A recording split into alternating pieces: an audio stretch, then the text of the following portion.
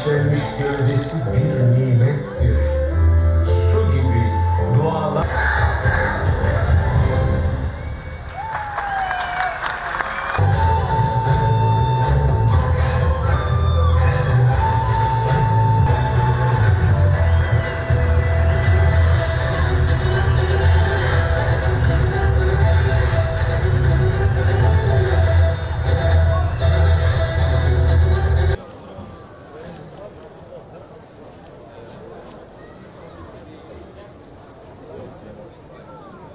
Salgınla bir erteleme olmasına rağmen 2022 yılında Türkiye Cumhuriyeti'nde İznik'te gerçekleştirildi.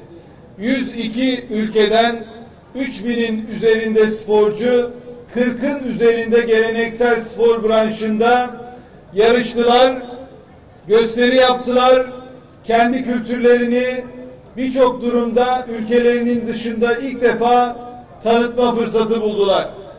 Geleneksel spor ve oyunların yanında geleneksel el sanatları, dünya mutfakları, geleneksel halk dansları, sahne gösterileri çok renkli bir gösterimle burada yerli yabancı misafirlerimizle buluştu.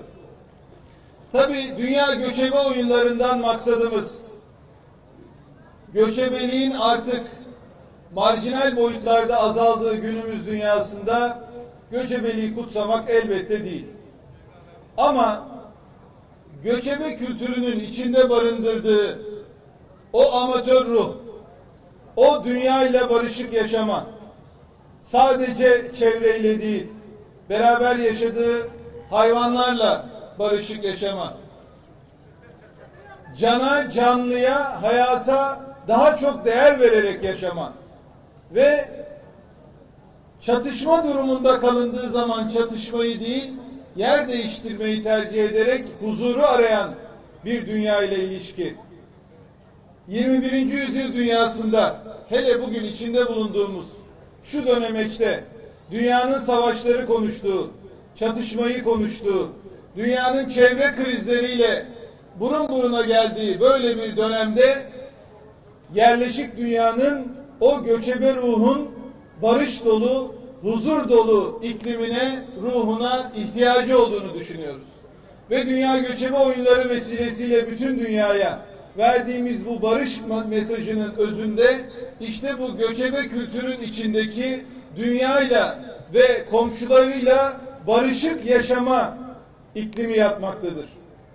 Ümit ediyorum ki açılış töreni vesilesiyle verdiğimiz mesajda da Türk dünyası başta olmak üzere bu oyunları organize eden Türk Devletler Teşkilatı merkezinde Türk dünyasının birliği merkezde olmak üzere dünyaya bu barış, bu birlik mesajını en güçlü şekilde verebilmişizdir.